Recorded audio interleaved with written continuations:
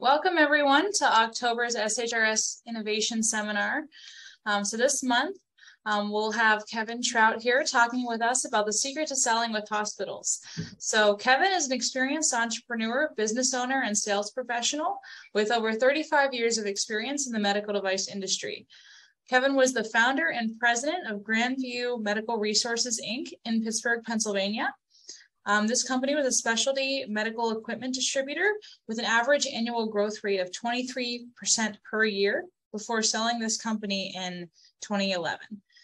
Um, by the time he retired in 2016, Kevin's company was conducting business with approximately 90% of the hospitals in uh, his market. So that market was the Western PA and West Virginia area, and it included a 10-year contract with UPMC Health Systems. So lots of great information to come today in this chat. Uh, so looking forward to hearing from you, Kevin, and take it away whenever you're ready. Well, thank you very much for uh, having me. So welcome to the session on the secret to selling to hospitals. I'm going to give you the secret right up front. It's understanding the hospital's buying process because the hospital's buying process trumps your sales process 100% of the time. It's complex and you got to learn the rules of the game. If you don't play by the rules, you run the risk of getting banned from the hospitals, possibly for life, no matter how good your technology is. So we're going to talk about how to navigate the hospital buying process. These are the things we're going to talk about today. Who are the decision makers? Who are the key influencers? And who are the decision processors?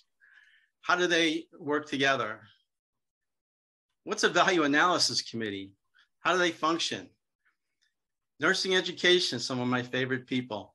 These people know a secret that you need to know. We're going to talk a little bit about the options when it comes to distribution channels. We're also going to touch on healthcare industry trade shows and how valuable they are. I'm going to share my personal favorite with you. We're going to touch on GPOs, which are group purchasing organizations. If you're familiar with them, you know what they do. If you're not familiar with them, well, they play a, a role in contracting as well as they may be able to influence the fact that you can't even walk in the hospital to make a sales call. So we're going to talk a little bit about that. We'll talk about pricing strategies, not because I want to tell you how to price your product, but because I want to make you aware of a trap that you can fall into if you're not aware of it. Then we're going to talk a little bit about leveraging your successes and then how to connect with the right people.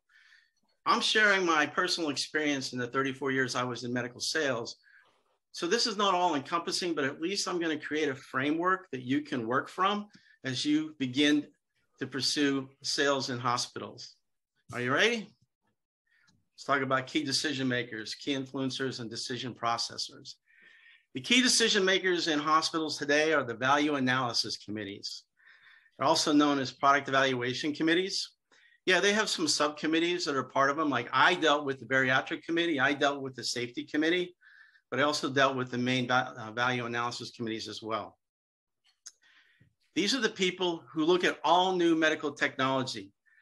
They hold the keys to the kingdom, okay? And it's a process to work with them. And we'll talk a little bit more about what that process looks like. Who are the key influencers? Well, they're the individual nursing units. When the value analysis committee gives your product the go ahead, usually goes to an evaluation. There's usually a nursing unit or two or three that get, get identified to be the ones to evaluate your product. Those individual nursing units are going to fill out a survey. They're going to give you the, the committee, they're going to give them their feedback. What's the pros? What's the cons? What are the likes? What are the dislikes? Do we recommend using it? Do we recommend adopting it or not? All of that gets fed back up to the value analysis committee. So they do play a key role in influencing those decisions that are made. Also nursing specialists. I typically work with the wound care nurses and infection control nurses. There's a lot of other ones as well. Physicians are a key influencer. Now you're probably saying, hey, wait a minute. I thought physicians had some say so on what products they get to use. Yeah, 20 years ago they did. Those were physician preference items. But what's happened in today's market space is supply chain management has literally corralled physicians' preference items so that there's not very many of them. What happens now is many of the physicians' practices are owned by the hospitals. So when supply chain contracts with vendors, they tell the physicians which, which vendors are contracted with and what products they can use. If the physician finds a product that they like and they want to have the hospital evaluate so that they can use it, they have to run it through the value analysis committee. So they, they can present it to them and ask them to run it through the process. But the physicians typically don't have the power to buy on their own anymore. So that's why I call them key influencers. Decision processors. These are the people who process other people's decisions, mainly the VAC committees. Purchasing agents, supply chain management, materials managers. So here's the deal with purchasing agents. And, and I respect the job they have to do. My key thing is don't try to make a sales call to a purchasing agent. Don't try to sell them on your product or your technology. You're going to meet with purchasing at the beginning of this whole process, and you're going to meet with them at the end of the whole process. But the process in the middle is when the, the uh, value analysis committee does their work. So in the beginning, you want to drop off the information to the purchasing agent. Simply three things. Here's our product. Here's our price. Here's how to order it. That's all you need to give them. And just let them know. Want to make you aware of what we have and what we do in case any of your clinicians want to take a look at it. And if they do, we'll make you aware. Now, when the value analysis committee goes through their whole process and they decide that your product is a go, yes, we want it, we're going to bring it in, we're going to make it standard of care. Then they send you back down to purchasing. And now that purchasing agent's job is to negotiate a contract with you, or in essence, the lowest possible price they can get from you.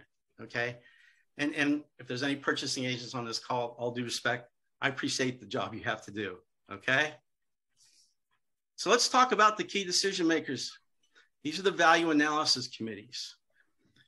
These are made up of individual nursing unit managers, some spe specialty clinical managers, there's always somebody from purchasing, whether it's the purchasing agent or the buyer from the purchasing department, because the clinicians are representing the clinical efficacy. We're looking at the clinical efficacy of your product technology, and the purchasing people are handling the money, meaning they have to they have to represent the interests of the financial people. Okay. And really, the whole idea of the committees is to evaluate the clinical efficacy and financial improvements that can be gained with the new technology. It is a long drawn out process. How they work. Hospitals, these value analysis committees typically meet once a month and they have an agenda of new technology that they want to talk about during that meeting that month. They don't always get to the whole list of specialty products, so you might get bumped to the following month. So it might be months before you actually get brought up. Most of the value analysis committees will bring the vendor in to do your dog and pony show. So don't be surprised if there's a line of vendors outside the committee meeting room door waiting to do their 15 minutes of fame. When you do your presentation, you're going to be educating the clinical managers on your product and what it does. One of the things that we did in my company that I think made us stand out was we would find out who the members of the committee were before our product came up on the agenda to be discussed. And we would try to meet with as many of those members as possible to do an interview, not to make us not to make a sales call, but to interview them, to ask them questions. How are you managing the patients right now that our product can service? Tell me more about that. What are the biggest challenges? What are the things you'd like to see different? What would you like your hospital to provide to you that might improve quality of care or make the nurses' jobs easier? Again, we don't sell them, we gather that information. So when we would go in and do our 15 minute product presentation, two things happen. One, we're a known entity because we've already met with these people. So they know us already. The second thing is 80% of our presentation was simply based on the feedback during the interview that they gave us. Well, Anne said this, this is what she was looking for, this is how we do this. Paula said this, this is what we do to address that. 20% of our presentation was actually about the product. It was more about the outcomes that they can expect to derive based on the challenges they share with us. That's a totally different presentation than a lot of other sales reps would make, which is mostly a PowerPoint presentation about their product, you know, you know, basically specs. So we did it a little bit differently and it worked very well for us. So let's talk a little bit about the purpose of value analysis committees. So I like these two quotes because the first one is really, really simple, right? Value analysis is not about finding just the right or the cheapest price, which should balance reducing costs and improving quality. It's very straightforward, right? The second one I like a little bit better because I think it's more encompassing. The goal of value analysis is to work as a multidisciplinary team, which is why you have all the clinicians and purchasing on the same value analysis committee, making product decisions based on a holistic, educated, and um, understanding of how a given product will impact patient care, financials, and the facility's strategic goals. I think that's a really great definition. All right, here's the one that makes me cringe. the focus of a true value analysis should be to determine the clinically acceptable products, not clinically superior, clinically acceptable. And uh, from there, create a competitive contracting environment that will result in the best economic opportunity for the facilities. What they're saying is you don't have to be clinically superior, just have to be clinically acceptable. And we're going to find out who all of your competitors are. We're going to get pricing from every one of them. And then we're going to leverage their pricing against you. Be prepared for that because that's how some hospitals work. Not all of them, but some more than you would like. All right, so that's nurse, that's uh, value analysis committees. They are the decision makers, and their process can take months. The days, the old days of walking in 20 years ago, you could go in, meet with a unit manager, make a, make a, a sales call. You'd walk out with an order because they had the ability to make that decision. Can't do that anymore. The days of the one call close, the mythical one call close are over.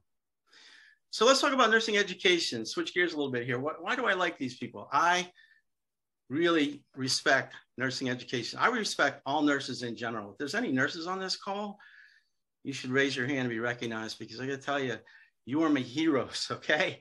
You have the toughest job and your commitment and your compassion is off the charts. And I really, really respect the job that you do.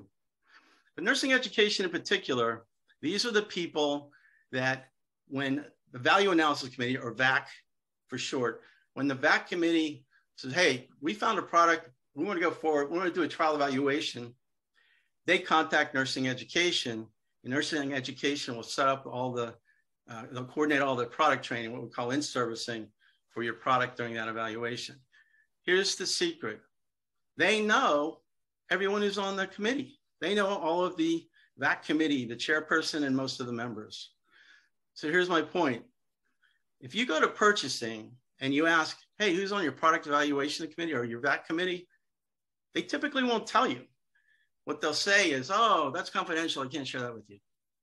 However, if you go to nursing education and you let them know, hey, we've got a product that's on the agenda. I don't know which month it's going to come up um, or when. So the, the, the thing is, we would like to just share some information with the committee members and really want to learn from them a little bit about what they're doing right now to make sure that when we do our presentation, it's, it's impactful and meaningful to them. I would tell you that nine times out of 10 that I have asked that question, the nursing education manager provides the committee members and their email addresses for me. So it's just a way of making sure that you get to know who's on the committee, who's going to be making a decision for you. All right. Switching gears, let's do a little bit about distribution channels. If you're a startup or even in the first phases of scaling up, I can tell you a direct sales force is a pretty expensive way to go. And these are the people that are W-2 employees. You have 100% of their time and attention. Um, many companies don't start with a direct sales force when they're in their scale up mode or startup mode. Typically go through distributors or independent sales reps. With regards to distributors, there's a couple of trade associations. IMDA, which is the Independent Medical Distributors Association of North America. These are the specialty distributors. These are the people that bring new complex technology to hospitals. They have a history of over the past, I don't know, 60, 70 years, launching new medical technology that today is now standard of care in most hospitals across the country. Um, I was a member of IMDA myself as an independent distributor, and I served as a president back in uh, 2010 and 2011. It's a great organization. What they bring to the table is the established relationships that they already have with supply chain and with clinicians in the hospitals in their given geography, right? So when you when you get them to distribute your product, they're going to bring your product in and they're already typically selling other products to those same hospitals and they'll be able to bring yours in. It's a whole lot easier. The other trade association is HIDA, which is the Health Industries Distributors Association. These are more the box movers. These more like uh, tongue depressors and adult diapers and bedpans, high volume, low margin um, stocking distributors, right? Then there's the independent sales reps. These are the straight commission 1099 reps. Their trade association is HIRA, Health Industries Representatives Association. The difference between HIRA and Haida, HIDA stocks, stocks your product. They're going to pay your wholesale price. They're going to sell the product to the hospital. They'll build a hospital and um, they'll collect payment from the hospital. Independent sales reps they'll generate an order for your product. They'll send the order to you. You as a manufacturer will ship the order. You'll build the hospital. You'll collect payment for the hospital, and then you turn around and cut a commission rep, a commission check to the sales reps. So it's just a different ways. Um, typically, the 1099 independent sales reps are carrying five or six or seven product lines, but they too have an established relationship already existing with the people that make the buying decisions and process the buying decisions in the hospitals.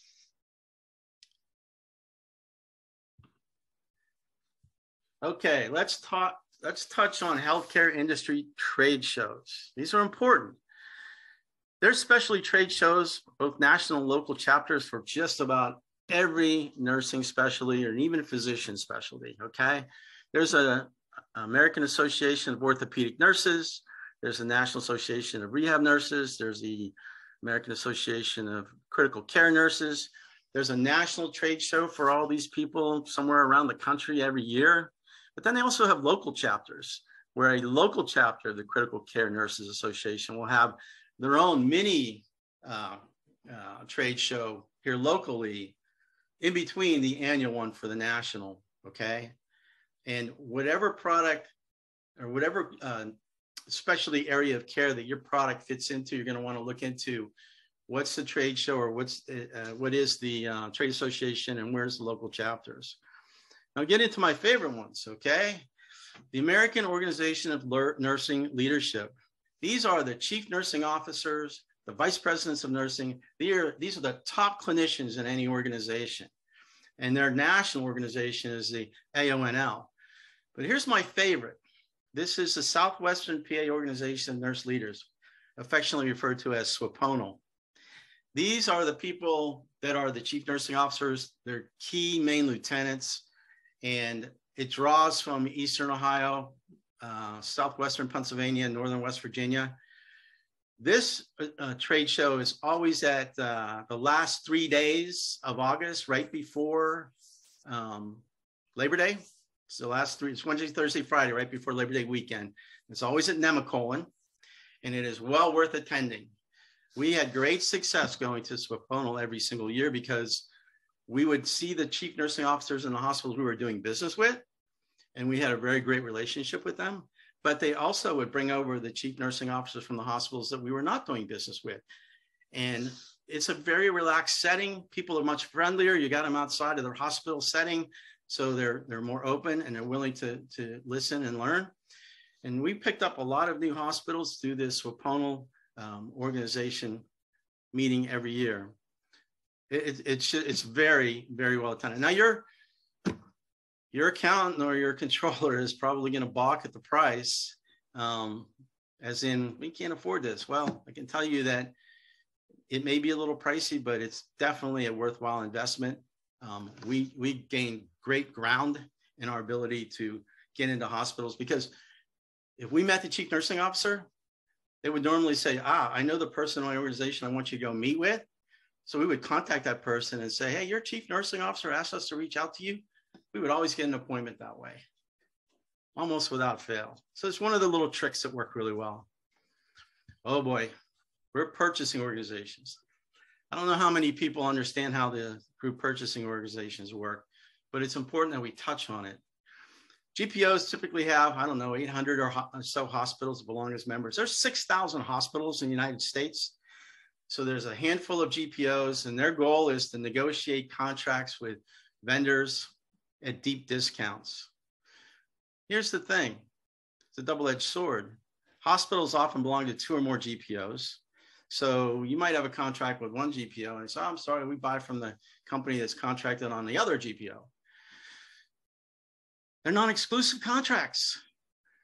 Their selling point is, hey, if you uh, if you work with us as a GPO, we can give you access to our 800 member hospitals.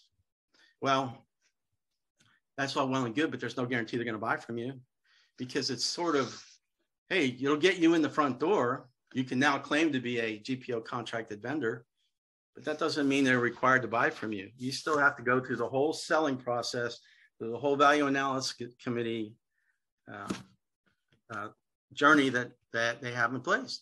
You still may not get chosen because what the GPOs typically do is if they give you a contract, they're going to find out who your competitors are. They're going to go negotiate with contracts with your competitors as well.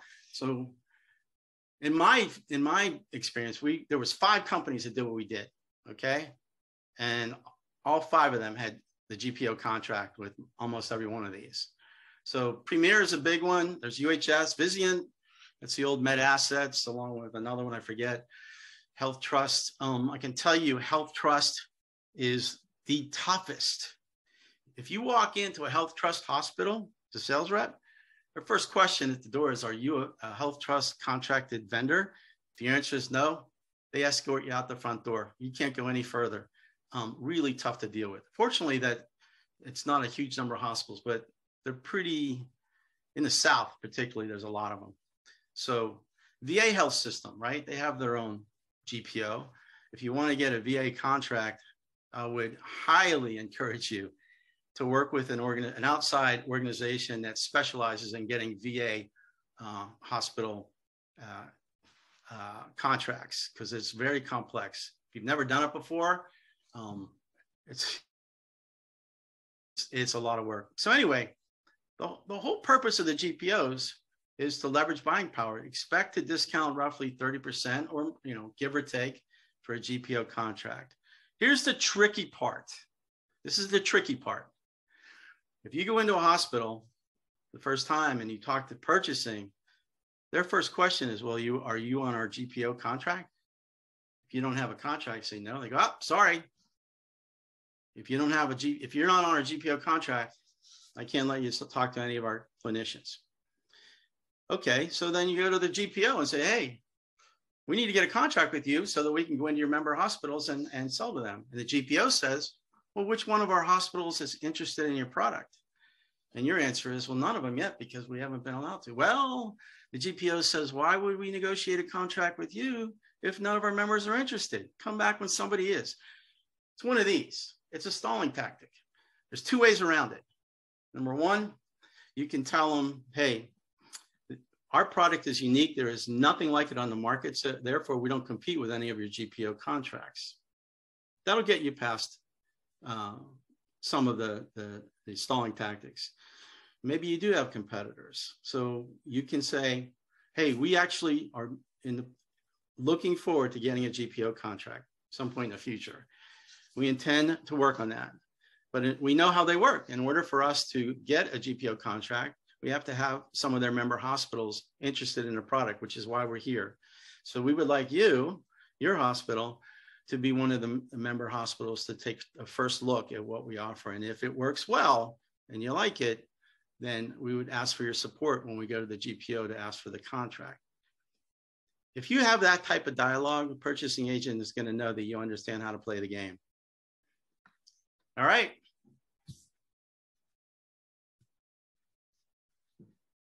Let's talk about pricing strategies. I'm not going to tell you how to price your product, but I am going to give you an example so that you can be aware of the trap that you might fall into. Let's say, for example, you need a gross profit margin of 40%. That's pretty typical, actually, because 40% enables you to make your payroll. It, enables you to make, uh, you know, your over, cover your overhead. If you're really good, you maybe only need 35%. So that extra 5% can be reinvestment dollars that you put back into your growth. So if you were to price your product with the cost of goods and a 40% margin, my example is cost of goods is $60, $40 for the gross margin, your minimum price is $100. You're going to have to raise that price because you will be pressured to lower your prices. You will, it's going to be demanded. GPOs are going to ask for a 30% discount. Regional purchasing coalitions, which are subgroups of GPOs, they're going to want another 5 to 10% to actually act as champions or sponsors for your product in the hospital's members that may not be taking advantage of your GPO contract. Supply chain management and IDN contract administrators are going to ask for more of a discount. Here's the latest thing that they have started saying, and it happened, I don't know, six years ago. Suddenly we were hearing it from every hospital. They were saying, oh, you, you have our GPO contract. That's great. However, the pricing that you have on a GPO contract is just our starting point for negotiating. What? we had to go back to the GPO and say, this is what we're hearing from multiple hospitals. And they say, yeah, this is what they're doing today. So you're going to get a lot of pressure to lower your price. Your margins are going to erode. erode. There's a lot of companies out there that did not position themselves price wise in a, in a way that as they began to accept these price concessions that were demanded of them, they went too far and they ended up going out of business. You need a 40% gross margin after everything is said and done just to keep your doors open and stay in business. So think about what your numbers are. Your controller or CFO can figure that out. I'm just throwing out an example, but just the trap is know that you will have price concessions demanded of you. And then there's this thing called vendor credentialing, which is really expensive and it is a fee that you have to pay for each one of your sales reps to walk into every one of the hospitals that you have them calling on. That's a whole nother subject for another day. Okay. Kevin, really quickly before you jump to that, there was a couple questions just about GPOs and just understanding how GPOs make money, if possible, really fast. Um, it's a question our hospital systems generally part of GPOs or our individual hospitals, they are they all belong to GPOs. Every single hospital or health system will belong to one or more GPOs. So UPMC, they they have uh, MedAssets and I think and Premier. I think MedAssets is now Vizient. Um, West Penn, and that's Allegheny Health Network. Yes, they have their GPO as well. Um, yeah, you, you're you'll be hard pressed. I don't believe there's a single hospital in America that doesn't belong to at least one, if not two or more GPOs. And how do and how do the GPOs make money from the hospital? Um, the members have to pay a membership fee. So every hospital or health system has to pay a certain amount to the, the as, as members, and they take like two or three percent of the volume of sales between their contracted vendors to the hospital members, and, and they take that as their fee. So they sort of skim off two or 3%. They're actually, I think 3% is by law the maximum they're allowed to charge. There's literally a law about that. Did that answer that question? I'll let I'll let Victor say that in the chat, and I appreciate Dan was also asking about that how they make money. So thank you for addressing that really quickly. Sure, no problem. Um, leveraging your successes. All right. Cold calling is for rookies and masochists. I, I think that would be a great title for my book. Cold calling. You know what? 20 years ago, cold calling was the way you made sales. And the old sales managers back in those days would tell you if you want to make more sales, you got to make more cold calls. Unfortunately, in today's market, a lot fewer people accept cold calls you're going to have a much tougher time getting through. I think Sandler Sales Training has done a, a few um, surveys to find out that in the what I call the good old days, if you were really good at cold calling, you would get you would get through 30% of the time and strike out 70% of the time. But really, um, today it's probably less than 10% that you're going to get through on cold calling. So you're going to make a whole lot of cold calls for very few results. Referrals are the lifeblood of this industry and I want to talk more about that.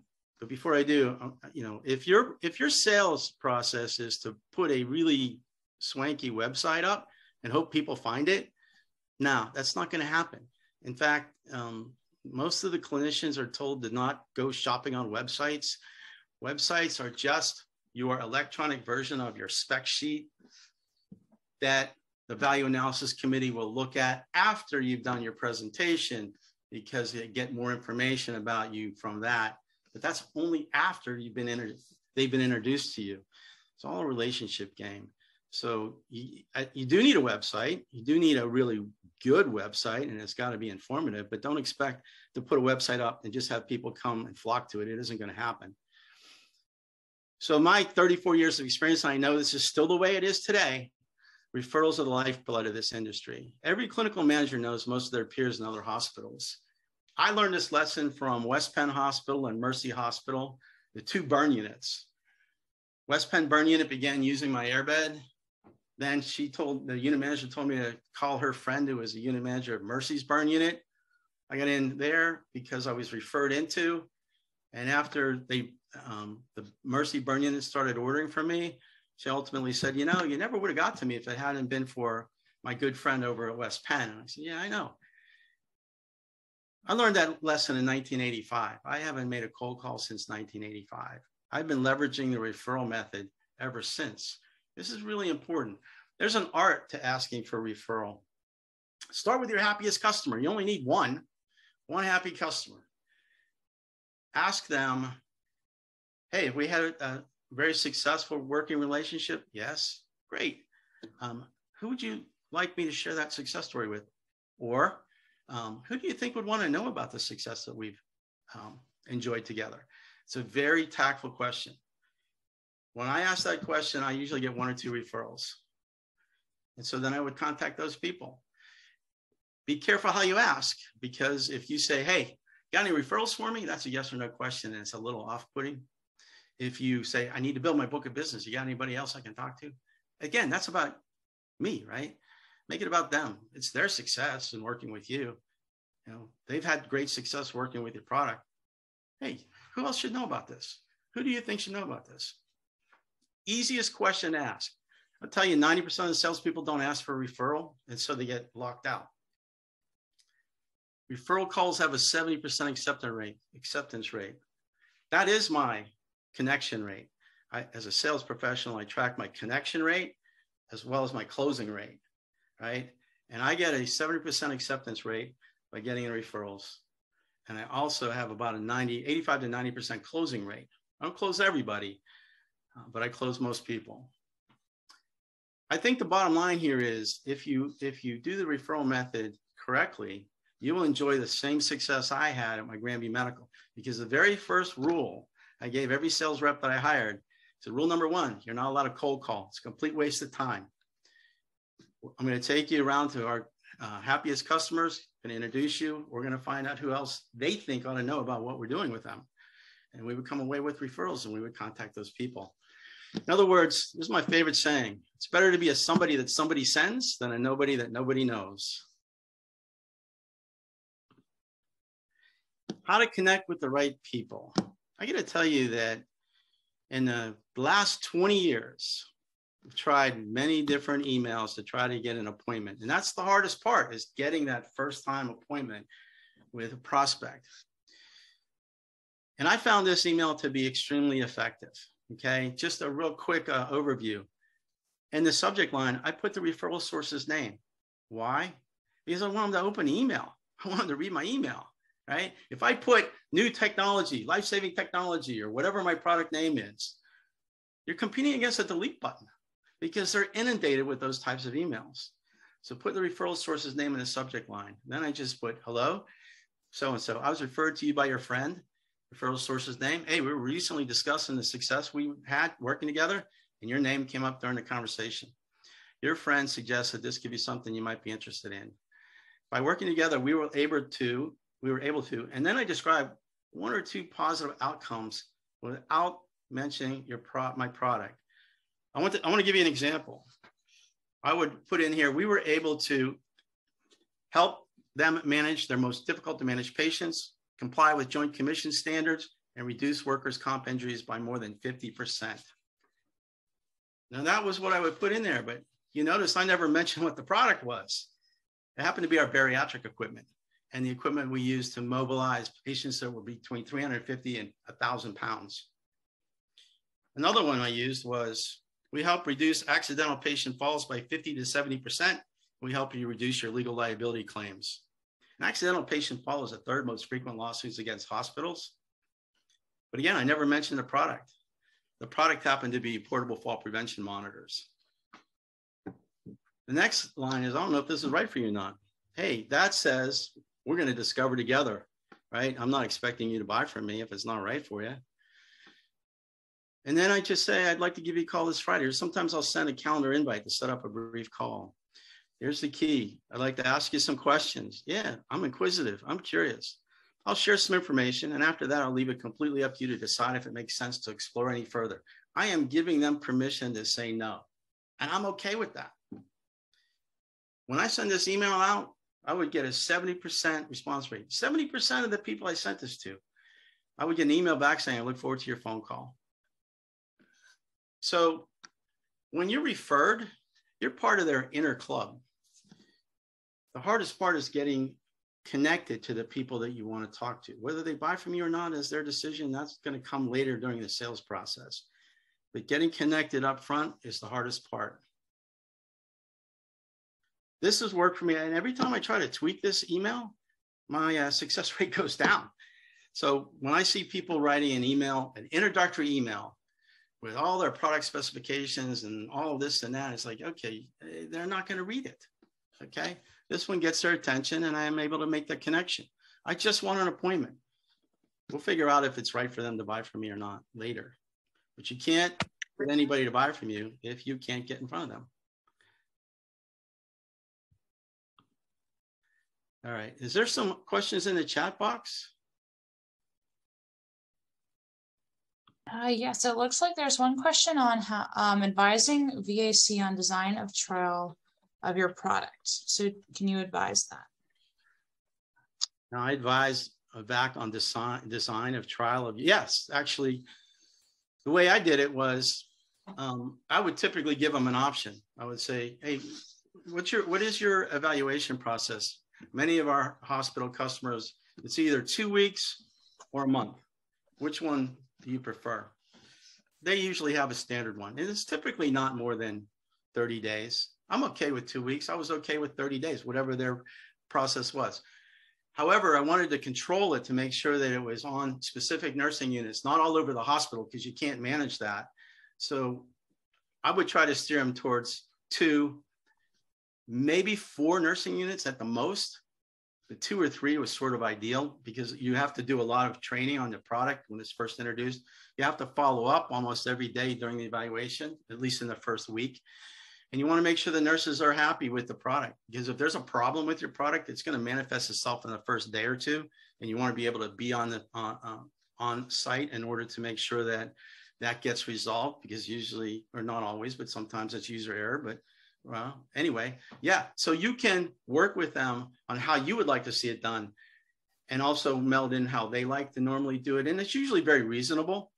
Um, they're, they're very reasonable. If they decide they want to go forward, they usually would ask me, what's your trial evaluation protocol? Oh, thanks for asking. I appreciate that. You know, this is typically what we do. And they go, oh, okay, we can, uh, we can do that. Did that answer the question? That was a long answer. Sorry. Kevin, I had a follow-up question to that. During these quality improvement studies, are you providing the product at no cost to them? Well, there's uh, you can do either way. It depends on what the hospital protocol is, and there's a little bit of a trap, right? So let me let me answer it this way: some hospitals will pay some discounted rate for an evaluation product. Um, some hospitals want it for free, like Cleveland Clinic wants your product for free for a whole year. So you want to stay away from them in the beginning. Um, they're just, they're out there. The, the, uh, the problem with giving them the product for free is they don't always value the free product. And as a result, it might sit in the corner in the nursing unit supposed to be evaluating it and they don't pay a lot of attention to it. So it's got to be something either pay pay a portion of the price so that they're committed or you're going to have to work very closely with the nursing unit to make sure they're committed if the product is for free. So it's kind of, it's not a black and white situation. It's whatever you can make happen, if that answers your question. Yeah, thanks. Another question that came up were, um, what are the main purchasing decisions that nursing is involved with as compared to medical professionals or physicians? Um, well, well, I can answer that by saying, what are the top five issues for hospitals and the value analysis committee? Um, one is treating bed sores. Number two is preventing accidental falls, not in this order. A third one is reducing workers' comp injuries among healthcare workers because workers' comp injuries among nursing staff is 1.6 times higher than the next worst industry, which is construction. That's a really big one. Um, I think medication administration, you know, wrong administration of the right medication and um, or administering the wrong medication. I think that's one of them. So those were the ones that I heard of. Um, physicians, you know what? I'm not sure I can answer that directly because we didn't really sell to the doctors that much. Their main thing, I would believe, is in talking to the physicians that we did have a good relationship with, you know, they, they want quality patient outcomes. They want to make sure that um, they're doing everything they can to get that positive patient outcome. I think really, if you can do three things, you're going to win over the value analysis committees. If you can improve patient care or you can improve the patient's outcome, that's number one. Number two, if you can make the nurses' jobs easier while improving patient care. Number three, if you can save money for the hospital, if you can re reduce the cost of caring for those types of patients with your product or technology, if you do those three things, that's a home run for me. And, and that's what we did. And, and, and I want to say that I was, you know, I was honored and blessed to be able to do that. Um, if you are able to do those three things, I'm rooting for you because I want you to be successful. That's what the hospital's overall goals are. And I'll finish with what's your value proposition, right? These are questions that you, you need to answer if you haven't already. Um, what problem do you solve? It's not so much about what your product is all about. It's what, what's the problem you're solving? Second question is how are hospitals handling this problem now? Who's the incumbent supplier or what's, this, what's the operating procedure that they're doing right now? How does your solution improve the quality of care? How does your solution save on current cost expenditures? What's your differentiating factor? If you have competitors out there and you build a better mousetrap, what makes it different? I mean, who are your competitors? Do you know who they are? These are questions that I think you may already know the answers to those. Uh, these are the questions I'd be asking. All right, I'm happy to take on questions, but before we do, I just want to let you know that if you want more information, this was a very high level overview. It was quick, we had 45 minutes. Um, if you want to know more information about any of the topics that I covered, please feel free to reach out to me. If there's a topic you want to discuss that wasn't included on this uh, webinar, you can reach out to me. I'm happy to talk to you about what my experiences were, as I don't think you're going to run into a, a specific situation that I already didn't already encounter myself. So I'm happy to give you some additional uh, insights. Um, I'm happy to give you a, a free two-hour consultation on any of these subjects. I'm I'm semi-retired, okay, but I am I'm a big fan of bringing new medical technology to healthcare, improving healthcare, improving the nurses' jobs, saving money, and I'm here to support you if I can. Okay, questions. What other questions can I answer for you? Well, first of all, thanks so much, Kevin, for that that talk here. We have a couple more in the chat. Um, so uh, it looks like Victor was saying he's familiar with the Vizient um, as a producer of nursing residency programs, but not as a GPO. Um, is it is the Vizient a, uh, mainly a GPO, or you speak further to that? Um, if I'm not mistaken, Vizient was MedAssets and another GPO merged and coming up with, and came up with that name. Yeah, and a lot of the GPOs have additional services they provide in addition to negotiating deep discounts from the vendors. So I'm not surprised by that. And there's been some changes uh, with some of the GPOs. There's been some mergers of GPOs. There was a lot more 10, 15 years ago. So there's been some consolidation and, and additional services as well. Yeah. And, then the other example, or the other question, excuse me, was can you give an example of a business relationship that went particularly well um, and why and how that happened? And then also one that was sour or didn't go so well and why that happened. All right, I can give you a 90 second um, version. It's West Penn Hospital and Mercy Hospital, the two burn units. Um, I called on Karen Price, unit manager of West Penn Hospital. Um, when I got an airbed, uh, new to the country, came from the United Kingdom, called the Mediscus bed. And when I met with her, I brought out my brochure like a rookie sales rep. I'm 25 years old. You know, you, you, you throw out your brochure, you start talking from it. And, and she stopped me. She's, oh my gosh, I love this bed. I said, how's that? How's that even possible? We just got it in the United States. It came from the United Kingdom. And she said, you don't understand. I spent six months working in a London hospital. This was the airbed we had not the clunky one we have down the hall. I didn't know this was available. I'm going to order everything from you. Perfect, right? You, you live for sales calls like that. And after a month or so servicing West Penn's burn unit, she says, Karen says, Have you been over to Mercy Hospital's burn unit? I said, Ah, because I knew Mercy Hospital burn unit and West Penn burn unit were arch rivals. I said, No, I haven't been over there. She's, Oh, go see Shirley Lepore she's the unit manager. We're best friends. We go to all burn units together. We room together. You got to go see Shirley. So she writes down her phone number and Shirley's name on a sticky notepad. So I go out to the hall and pick up a payphone back in the days when there used to be payphones. And I called the number. And a lady answers the phone. She goes, Hello, this is Shirley. Well, back then you used to have to call into the the um, the switchboard and ask for the unit, right? So I start talking, you know, I've got this great new airbed, and she started screaming at me. Oh my God, what are you, an airbed salesman? And um, I literally was holding a phone out this far. She was screaming at me. And then suddenly she stops and she said, Hey, wait a minute. How'd you get this phone number? What was her private back line into her office?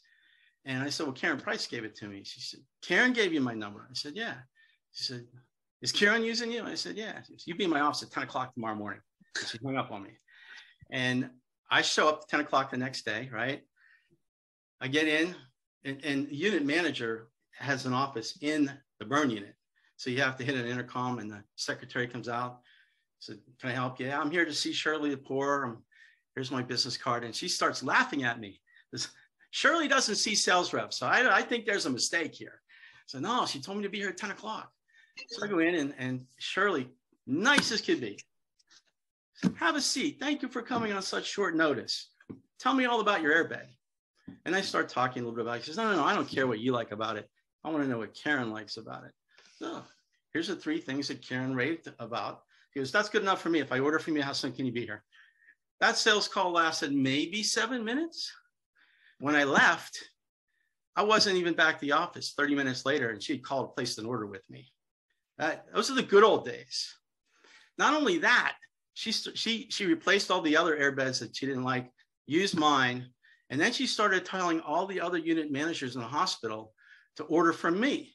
So next thing I know, I'm getting orders from unit managers and different nursing units in Mercy Hospital that I'd never even visited yet. And next thing I know, I have more airbeds in Mercy Hospital than any of my other accounts. And Shirley's the only one I made a call to. And then I got the famous call from purchasing agent saying, who are you and how'd you get in my hospital? that's another story. But that's probably my favorite story about leveraging referrals. And I would never have gotten to Shirley if it hadn't been introduced by Karen. So that's one of the best. Okay, you asked about the worst one? Conemaugh Hospital. I'm to just use their name, okay? Um, we ended up getting a contract from our competitor at Conemaugh and, this, and the uh, uh, Central Sterile Supply.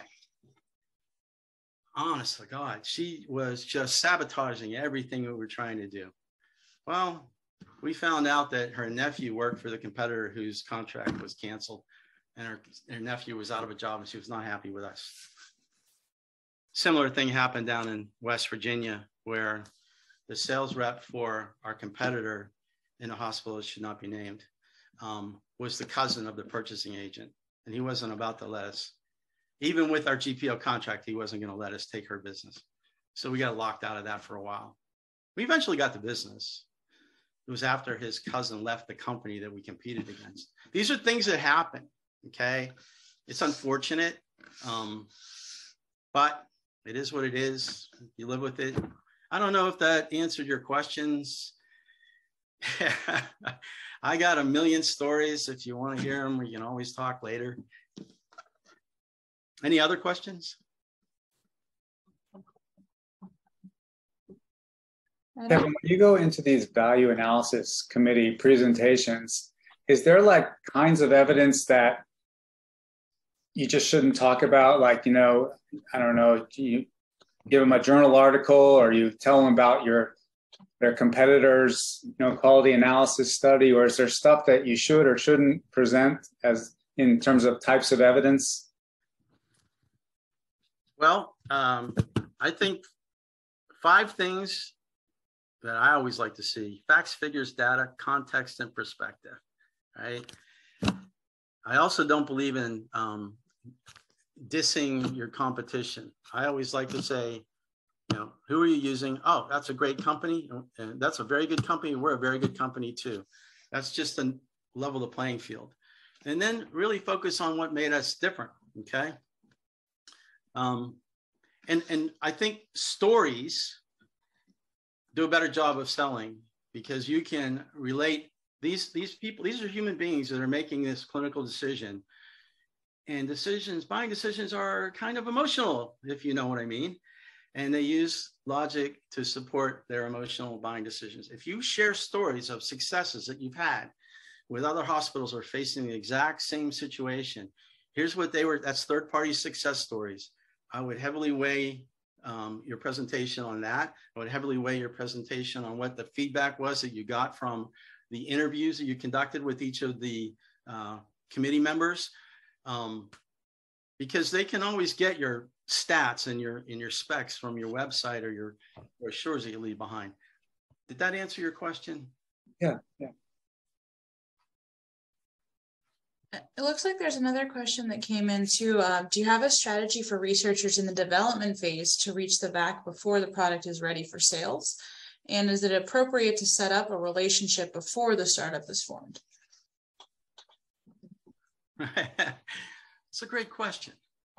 If I were to do it, if I were to do it, um, I would take it to somebody that I know or somebody that knows somebody just to ask. So this product is in development. This is what it's going to be designed to do. This is the problem it's designed to, to solve. What are your thoughts? What do you think?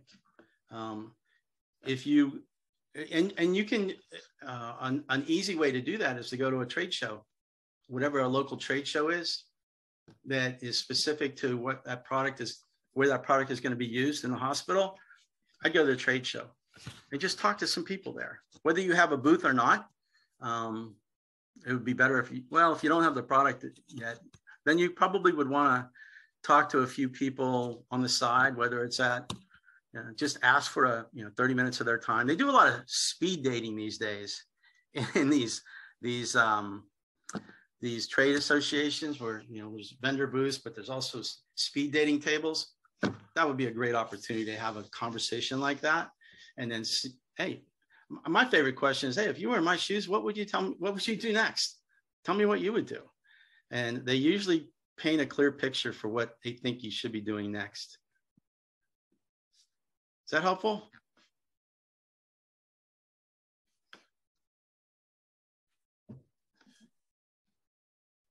Excellent. All right, so we'll go ahead and just put your email in the chat as well so everyone can copy that down if you have additional questions um, for Kevin. And I'll also put in some information in the chat as well to keep, you know, stay tuned for more information for next month's seminar. And we hope to see everyone there. So thank you so much again, Kevin, for a great, great talk about all of this. And we really appreciate your time today. Thanks for having me. I know it was like drinking from a fire hose, but hey, it is what it is, right? Thank you very much. That was awesome. Thank you.